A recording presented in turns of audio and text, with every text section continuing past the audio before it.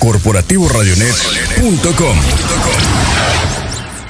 El coordinador de la Policía Estatal Acreditable, Juan Esteban Montiel Migliano, fue denunciado ante la agencia del Ministerio Público de Protección a la Familia de abusar sexualmente de un oficial de la misma corporación. Estrella N, policía A de la PEA, compareció ante la representación social acompañada del personal del Comité de Derechos Humanos de Nuevo Laredo para exigir se haga justicia ante la violación cometida por quien es su superior. La oficial narró ante las autoridades que la noche de lunes su superior del capitán segundo Juan Montiel Esteban Montiel le ordenó que se presentara en el hotel Holiday Inn, donde despacha el coordinador de la PEA para entregarle un oficio. Fui víctima de una violación por parte de, del, del capitán segundo retirado, Juan Esteban Montiel. Me dijo que me acercara porque me iba a entregar un oficio.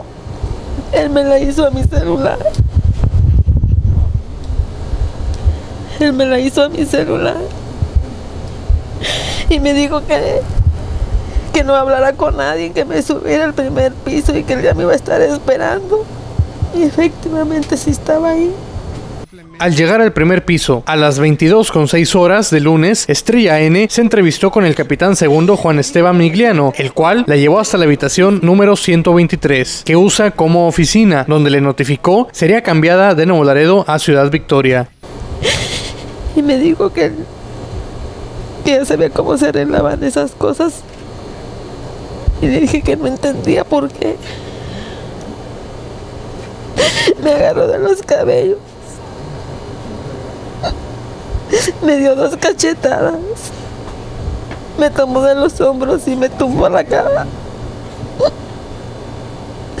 Me tapó la boca.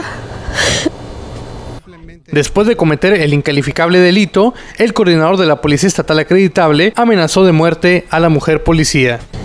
Me dijo que si hablaba o le decía a alguien que ya se me tenía bien identificada, que sabía dónde vivía y que sabía que si podía hacer algo contra mí.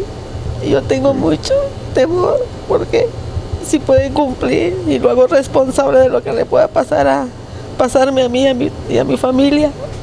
La mujer señaló que acudió al hotel como en anteriores ocasiones. Y como anteriormente ya me habían mandado llamar para uno, pues no desconfié. Aparte que es mi jefe, pues yo no desconfiaba de él. Corporativoradionet.com